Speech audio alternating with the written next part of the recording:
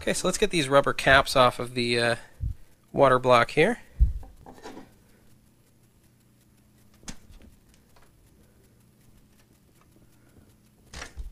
And now we're going to need to affix these hose clips onto our hose. Put the hose on to the water block here. All the way on.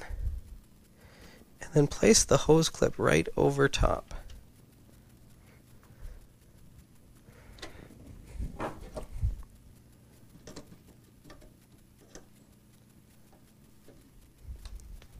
So now eyeball this and make sure that that's going to go into your liquid cooling system without again uh, creasing the uh, the hose. So that looks about right. So I'm going to snip that off. Now once again we're going to use a hose clip on here and insert our Q connector.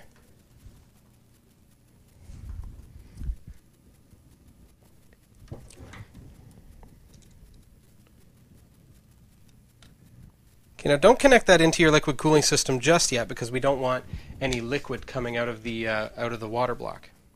Now repeat those steps for the other side of the water block. Now once you've done that for both sides of the water block, we're ready to connect in our liquid cooling system. Double check that there are no kinks in the hose and that everything looks good.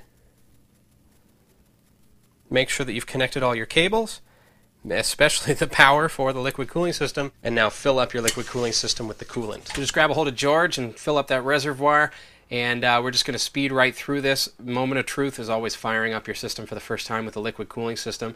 And you can see that the Big Water 780E has flow meters on both the uh, tubing as well as the front of the unit, so you can tell that the liquid coolant is moving safely through your system.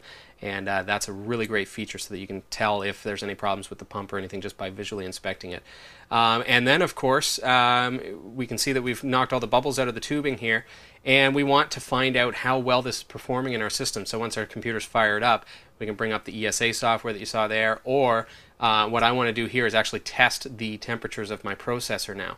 So with my V1, I did have an, an unfair advantage over anyone else using a quad-core processor with just the stock uh, fan because my V1 gave good performance at only 36 degrees Celsius.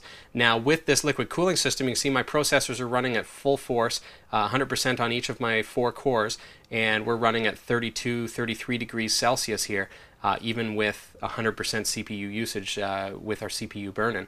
Um, so I've let that run for a few minutes just to really get a sense of whether we're getting better performance out of the liquid cooling system as opposed to my V1.